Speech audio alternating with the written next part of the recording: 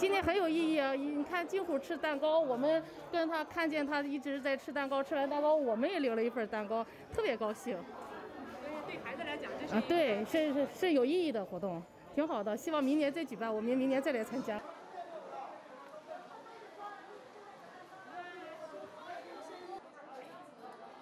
那我们为他准备这些呢，就是希望他在本命年的这个生日呢，能过得格外的开心。那同时呢，也为我们的游客朋友们带来一份欢乐。